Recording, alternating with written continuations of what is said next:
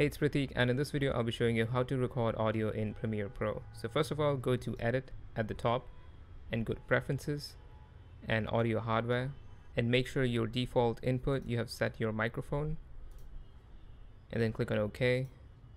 Then you want to go to Audio Track Mixer. If you don't have this, you can go to Window and select Audio Track Mixer right here then you want to go and select the track where you want to record audio. So for example if I want to select track 2 I will click on R on track 2 right here. A2 corresponds to this A2 you want to select this R. You want to select your microphone. And then you want to click on this red record button. And then you want to click on play.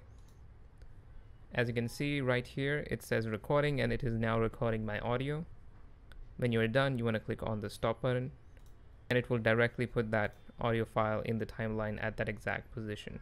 And you also have the audio file right here in your bin. See right here, it says recording and it is now recording my audio.